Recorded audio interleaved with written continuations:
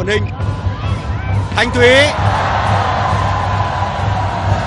Đó là dấu ấn đầu tiên của Thanh Thúy sau khi được tung vào sân. Về phía cuối sân với tầm cao sẽ gây ảnh hưởng rất nhiều đến việc đỗ một của đội tuyển Việt Nam. Trong hiệp đấu thứ ba này, huấn luyện viên Nguyễn Mạnh Hùng đã sử dụng chiến thuật với ba mũi chủ công và chỉ